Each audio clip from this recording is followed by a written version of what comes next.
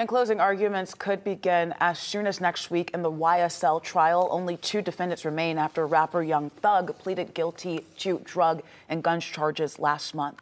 He was released from jail with 15 years probation.